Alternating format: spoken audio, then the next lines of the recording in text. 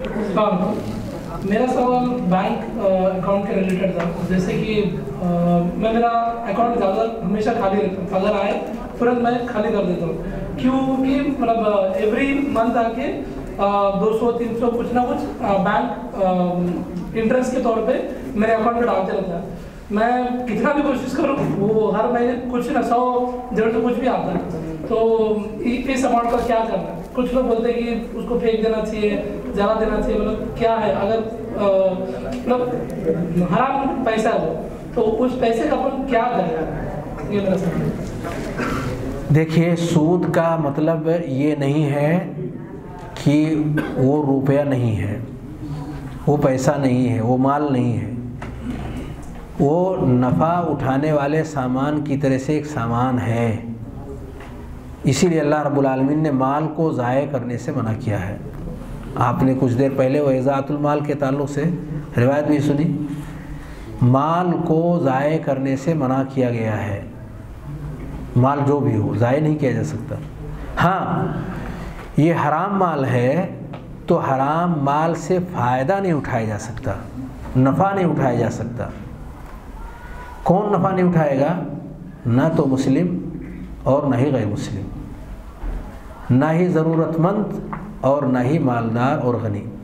کوئی بھی اس سے فائدہ نہیں اٹھا سکتا۔ وہ حرام ہے، سب کے لیے حرام ہے۔ کسی کے لیے بھی حلال نہیں ہے۔ اگر یہ کہا جائے کہ غریب کے علاج میں دے دیں، اس کے نکاح میں دے دیں اور نہ معلوم کیا کیا چیزیں لاتے ہیں اور یہاں دے دیں، تو دراصل زکوٰۃ اسی مسئلے کے حل کے لیے اللہ رب العالمین نے رکھا ہوا ہے کہ ایسے غریبوں اور ایسے مسکینوں کے مسائل کو حل کرنے کے لیے اے مسلمانوں تم زکوٰۃ نکالو۔ اگر اس سے تمہاری ضرورت پوری نہیں ہو رہی ہے، تو اپنے مال کے کچھ حصے لسائل المحروم رکھو۔ ضرورت پڑنے پر نبی کریم صلی اللہ علیہ وسلم نے کچھ لوگوں کو کھڑا کیا۔ یعنی دیکھا کہ آئے ہوئے ہیں، ان کی حالت بہت خراب ہے۔ تو آپ نے کھڑے ہو کر کے ان کے تعاون کے لیے اعلان کیا۔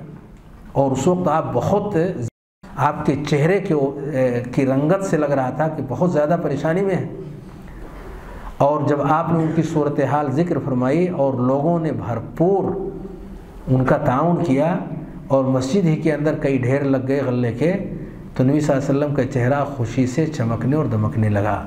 مسئلے کے حل کے لیے مسلمان سخاوت قلبی سے کام لے لیتا ہے، جس سے جو بن پڑتا ہے، نہیں بن پڑا تو رات بھر محنت کر کے ایک سا کھجور بھی ہو پاتا ہے تو کچھ حصہ گھر کے اندر اور کچھ حصہ اس مسئلے کے حل کے لیے وہ پیش کر دیتا ہے۔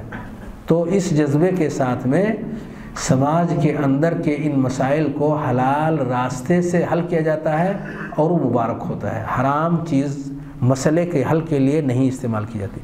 تو اب حرام چیز کو ضائع بھی نہیں کرنا ہے، اس سے تعاون بھی نہیں کرنا ہے، کرنا کیا ہے؟ اس سے جان چھوڑانی ہے۔ کیا کرنا ہے اسے؟